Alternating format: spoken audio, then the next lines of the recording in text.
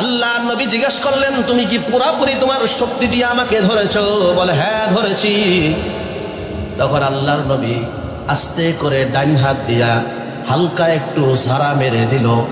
ঝাড়া মারার সাথে সাথে কুস্তিগির তার পুরা শক্তি ব্যর্থ হয়ে কয়েক হাত দূরে যে এসে ছিটকে যায় পড়ল। এক হাত দিয়া একটু আঘাত করেছে। কুস্তিগির আবু জেহেল উদ্বা সাহেবার দিকে তাকায় বলে এর সাথে লড়াই করা সম্ভব না। না? ধরো, ভালো করে ধরো। হার মারা যাবে না। কুস্তিগির আবার জড়ায় ধরল। আল্লাহর নবী ওই এক হাত ব্যবহার করে কুস্তিগির রে মাটির সাথে আস্তে করে একটু আঘাত করল। মাটির ভিতরে মাটি ফাঁক হয়ে, কিছুটা ফাঁক হয়ে কুস্তিগির তার ভিতরে ডেবে গেল। কুস্তিগির তখন আওয়াজ দিয়া বলে, ও মোহাম্মদ তোমার ব্যক্তিগত শক্তি যে না একটু আগে বলেছ, তার প্রমাণ আমি পেয়ে গেছি মোহাম্মদ। তোমার অপশক্তি, তোমার সাথে কোনো একটা বিশাল বড় শক্তি আছে, তোমার পিছন দিক থেকে সহযোগিতা করে। আল্লাহ নবী তখন বললেন, আমার পিছন দিক থেকে নয়, আমার সব দিক থেকে যিনি সহযোগিতা করে, তিনি তোমারও সৃষ্টিকর্তা, তিনি আমারও সৃষ্টিকর্তা। তিনি আর কেউ নয়, তোমারও সৃষ্টিকর্তা, তিনি আমারও সৃষ্টিকর্তা। তিনি হলেন আল্লাহ। তিনি আসমান, জমিন সব কিছু বানাইছেন। তিনি হলেন আল্লাহ। কুস্তিগির তখন বিশাল বড় মানুষের, বিশাল বড় সমাগমের সামনে তিনি বললেন, ও মোহাম্মদ সাল্লাহ আলহি ওয়াসাল্লাম, আর দেরি করতে চাই না। তোমার সাথে লড়াই করতে যে আমার জীবনের মোর পরিবর্তন হয়ে গেল, আমিও তোমার উপরে ইমান এনে কালেমা পরে মুসলমান হয়ে গেল আল্লাহ তাআলা বলেন ওয়ালা নাবলুওয়ান্নাকুম বিশাইইম মিনাল খাউফ। দুনিয়ার জমিনে আমি কিছু তোমাকে ভয় দেখিয়ে তোমার এবং ক্ষুধার্ত অবস্থায় ওয়ানাকসিম মিনাল আমওয়াল তোমার ক্ষুধার্ত অবস্থায় পরীক্ষা নেব, তোমাকে ভয় দেখায় পরীক্ষা নেব। তোমার কিছু ধন সম্পদ আমি আল্লাহ যা তোমাকে দিয়েছি তা থেকে তোমাকে কিছু নষ্ট করায় দিয়ে পরীক্ষা নেব। আমওয়ালি ওয়াল আনফুসি জীবন ও ফসলের ক্ষয়ক্ষতি দ্বারা অবশ্যই পরীক্ষা করব। যদি তুমি এই পরীক্ষায় পাশ করতে পারো, ধৈর্য ধারণ করে সামনে আগাইতে পারো। আল্লাহ বলেন সবিরিন।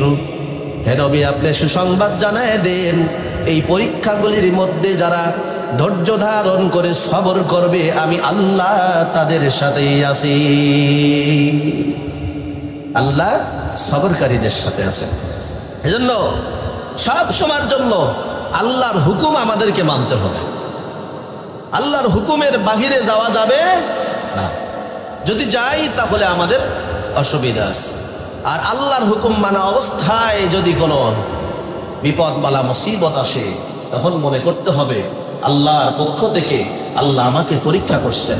আর আল্লাহ যাকে পরীক্ষা করেন মনে করতে হবে আল্লাহ তাকে ভালোবাসেন, পছন্দ করেন, বিদায় আল্লাহ তাকে পরীক্ষা করেন। ইব্রাহিম আলী ইসালামকে আল্লাহ তালা জীবনে সব থেকে বেশি পরীক্ষা করেছেন।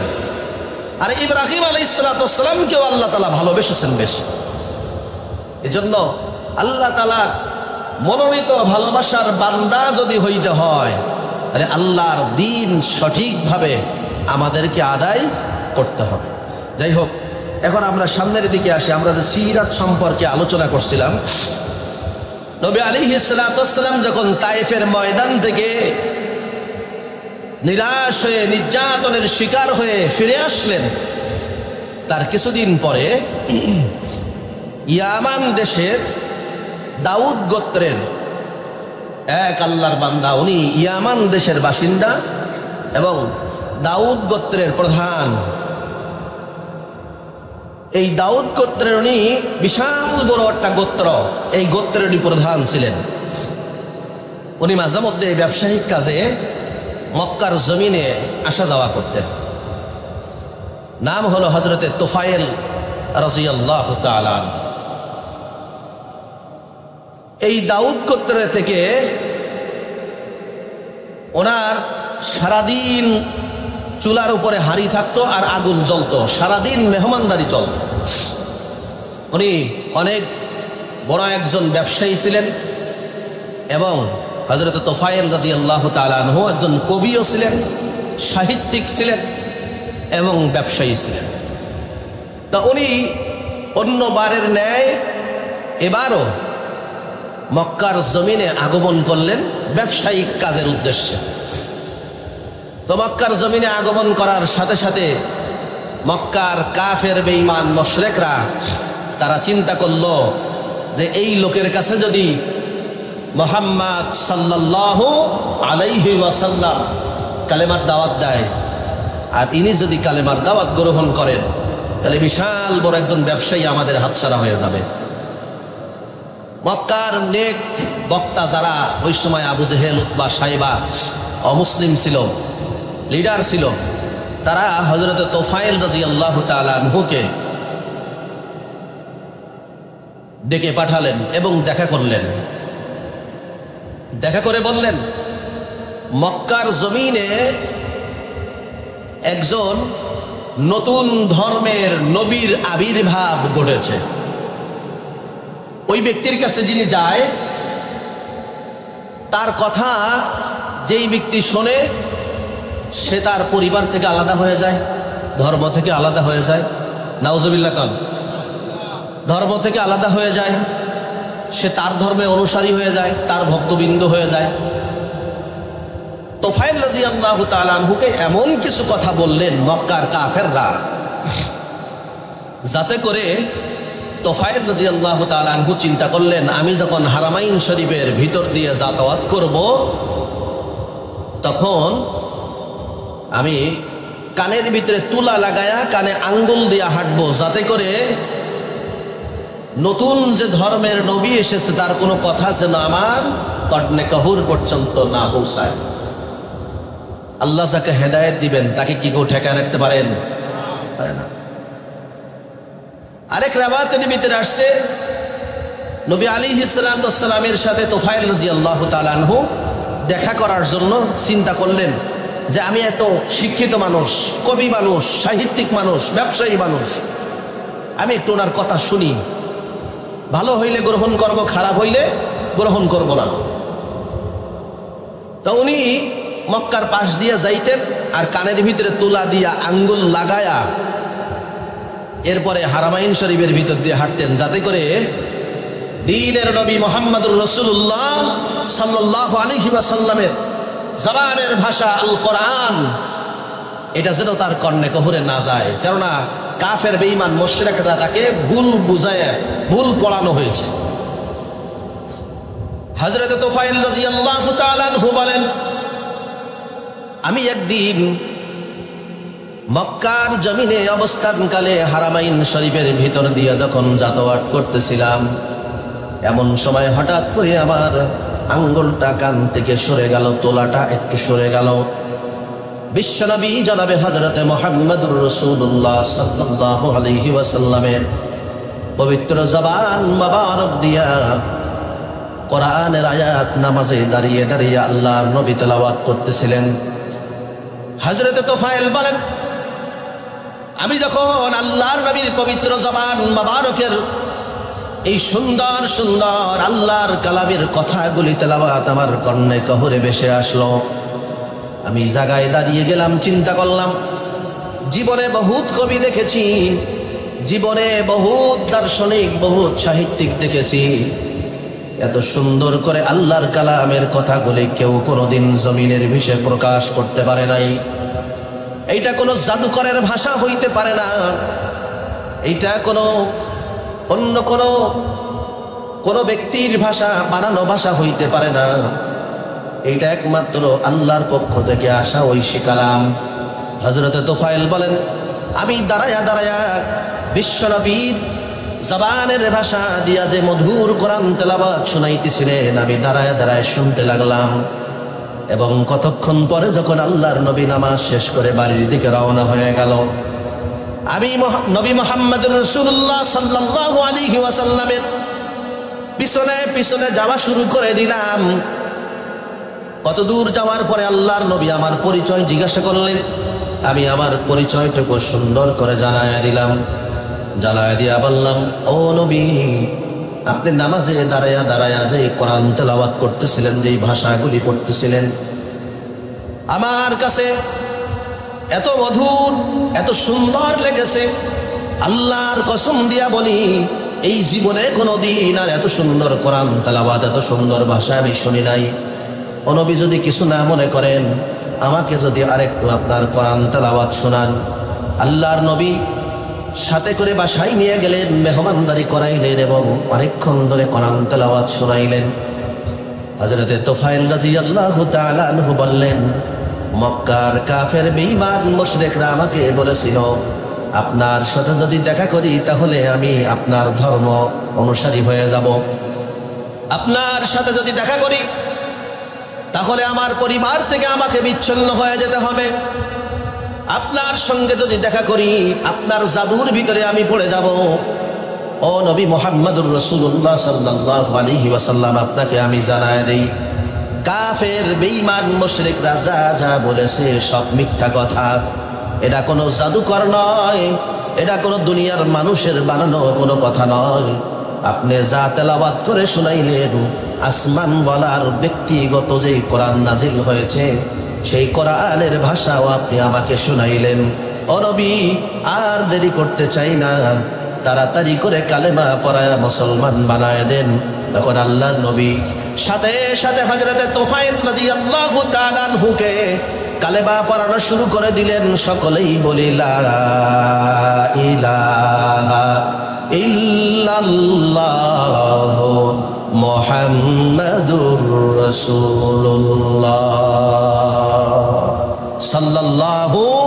আলাইহি ওয়াসাল্লাম।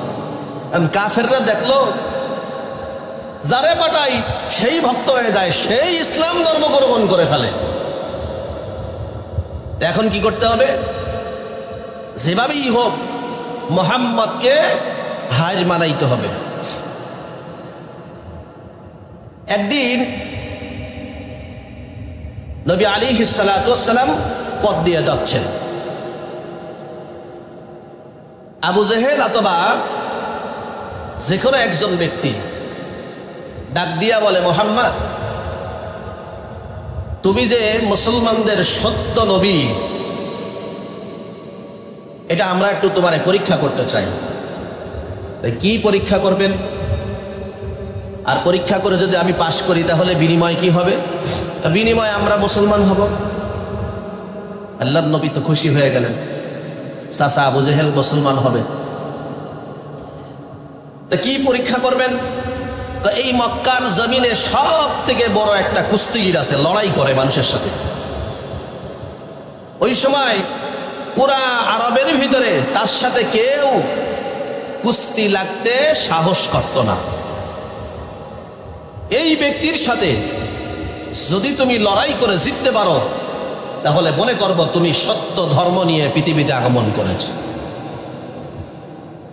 আল্লাহ নবী বললেন, ঠিক আছে আগের থেকে একটু বলে রাখি। এক একজন নবীর গায়ে আল্লাহ তালা চল্লিশ জন পালোয়ান শক্তিশালীর পালোয়ানের শক্তি এক একজন নবীর গা আল্লাহ তালা দিয়ে দিয়েছেন। সুবান আল্লাহ কি বেশি জোরে হয়ে গেল নাকি? আওয়াজ দিয়ে বলি সুবাহান আল্লাহ চল্লিশ জন যুবক, শক্তিশালী পালোয়ান যুবকের শক্তি এক একজন নবীর গা আল্লাহ তালা দিয়ে দিয়েছেন। এখন নবী আলী হিসালাম বললেন চাষা তালি দিন তারিখ ঠিক করেন। দিন তারিখ ঠিক হয়ে গেল। দিন তারিখ ঠিক করার পরে বিশাল বড় ময়দানের ভিতরে কুস্তিগির হাজির। কুস্তিগির, কুস্তি লাগার আগে নবীরে বলছেন, মোহাম্মদ, তুমি আমার সাথে কুস্তিগিরি করে তোমার জীবনটারে শেষ করতে চাও? আল্লাহ নবী কিছু বলে না। আবার দ্বিতীয়বার মোহাম্মদ। তুমি কি তোমার বিবি সন্তানদের বঞ্চিত করতে চাও? এই মক্কার জমিনের ভিতরে, এই পুরা আরব দেশের ভিতরে আমার সাথে কেউ কুস্তিগিরি করতে সাহস পায় না। তুমি আমার সাথে কুস্তিগিরি করে হাত পাও ভেঙ্গে বিছানায় পড়ে থাকতে চাও? আল্লাহ নবী শুধু বললেন আমার ব্যক্তিগত কোনো শক্তি নাই, আমার শক্তি আল্লাহর পক্ষ থেকে যেটা আসবে, ওটাই আমার শক্তি। বলেন? তখন ওই কুস্তিগির বলল, ঠিক আছে, তুমি আমাকে ধরো। মক্কার কাফেরদের সব থেকে বড় বড় লিডাররা সামনের কাতারে বসে দেখতে লাগল, তাদের মনের ভিতরে দৃঢ় বিশ্বাস। এই কুস্তিগির মোহাম্মদকে তারা হারায় ফেলবে এবং মোহাম্মদকে পরাজিত করে অসম্মানী করবে। কুস্তিগিরি যখন বলল, মোহাম্মদ, তুমি আমাকে আগে ধরো, আগে আমার পাকড়াও করো। মোহাম্মদ সাল্লাহ আলিহি ওয়াসাল্লাম বললেন, ইসলামে কোনোদিন কেউ আগে নির্যাতন করে না, কেউ যদি নির্যাতন করে, ইসলাম তারে আঘাত করে না, ঠেকায় দেয়, বুঝায় দেয়। আর ইসলাম আক্রমণাত্মক কোনো জিনিস ইসলামের ভিতরে নাই। ইসলাম শান্তির ধর্ম। তুমি আমাকে আগে ধরো। আমি পারলে তোমারে পরাজিত করব। আল্লাহ যদি একজন করে থাকে আর আমারে নবী বানায় পাঠায় থাকে, অবশ্যই অবশ্যই এই যুদ্ধে আল্লাহ আমাকে জয়যুক্ত করবে। কিতাবের ভিতরে আসছে কুস্তিগিরি যখন আল্লাহর নবীকে ধরে মাটিতে ফেলাইছেন আল্লাহর নবী জিজ্ঞেস করলেন, তুমি কি পুরাপুরি তোমার শক্তি দিয়ে আমাকে ধরেছ? বলে হ্যাঁ ধরেছি। তখন আল্লাহর নবী আস্তে করে ডাইন হাত দিয়া হালকা একটু ঝাড়া মেরে দিল। ঝাড়া মারার সাথে সাথে কুস্তিগির, তার পুরা শক্তি ব্যর্থ হয়ে কয়েক হাত দূরে যে এসে ছিটকে যায় পড়ল। এক হাত দিয়া একটু আঘাত করেছে। আর কুস্তিগির আবু জেহেল উদ্বা সাহেবার দিকে তাকায় বলে এর সাথে লড়াই করা সম্ভব না। না? ধরো, ভালো করে ধরো। হার মারা যাবে না। কুস্তিগির আবার জড়ায় ধরল। আল্লাহর নবী ওই এক হাত ব্যবহার করে কুস্তিগির রে মাটির সাথে আস্তে করে একটু আঘাত করল। মাটির ভিতরে মাটি ফাঁক হয়ে, কিছুটা ফাঁক হয়ে কুস্তিগির তার ভিতরে ডেবে গেল। কুস্তিগির তখন আওয়াজ দিয়া বলে, ও মোহাম্মদ তোমার ব্যক্তিগত শক্তি যে না একটু আগে বলেছ তার প্রমাণ আমি পেয়ে গেছি, ও মোহাম্মদ। তোমার অপশক্তি, তোমার সাথে কোনো একটা বিশাল বড় শক্তি আছে, তোমার পিছন দিক থেকে সহযোগিতা করে। আল্লাহ নবী তখন বললেন, আমার পিছন দিক থেকে নয়, আমার সব দিক থেকে যিনি সহযোগিতা করে, তিনি তোমারও সৃষ্টিকর্তা, তিনি আমারও সৃষ্টিকর্তা। তিনি আর কেউ নয়, তোমারও সৃষ্টিকর্তা, তিনি আমারও সৃষ্টিকর্তা। তিনি হলেন আল্লাহ। তিনি আসমান, জমিন সব কিছু বানাইছেন। তিনি হলেন আল্লাহ। কুস্তিগির তখন বিশাল বড় মানুষের, বিশাল বড় সমাগমের সামনে তিনি বললেন, ও মোহাম্মদ সাল্লাহ আলহি ওয়াসাল্লাম, আর দেরি করতে চাই না। তোমার সাথে লড়াই করতে যে আমার জীবনের মোর পরিবর্তন হয়ে গেল, আমিও তোমার পরে ইমান এলে কালেমা পরে মুসলমান হয়ে গেলাম।